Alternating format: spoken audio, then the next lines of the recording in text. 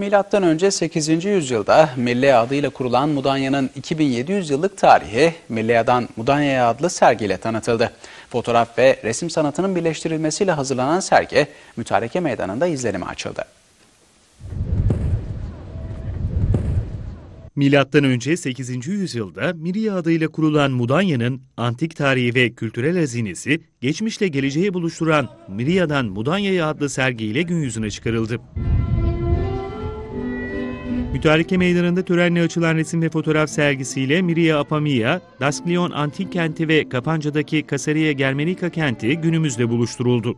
Çok anlamlı bir e, sevgi, e, danışmanlık yapmanın gururunu yaşıyorum. Mudanya o kadar önemli ki Bursa'da bir ilçenin e, sınırları içerisinde üç tane büyük antik kent var. Önce insan diyerek çıktığımız bu yolda kentimizin bütün değerlerine sahip çıkarak, onları koruyarak, geliştirerek, geleceğe insanlığa kazandırmak için çok mücadele ettik. Mudanya'nın yerden ve havadan olmak üzere tarihi, kültürel ve doğal değerleri fotoğraflarla kayıt altına alındı. Günümüzde varlığını koruyan yapıların geçmişi fotoğraf ve resim sanatı birleştirilerek fotoğraf tamamlama uygulamasıyla anlatıldı. Ayrıca projeye bir de Mudanya'yı ve Bursa'yı 2000 yıl önce katıldığı uluslararası yarışmalarda temsil eden şampiyon atlet Tatianos'un heykeli kazandırıldı. İnanıyorum ki gelecekte Mudanya'mız bu tarihi değerleriyle, bu kimliğiyle birlikte sadece Mudanya'mızın değil, Bursa'nın ve Türkiye'nin turizm açısından önde gelen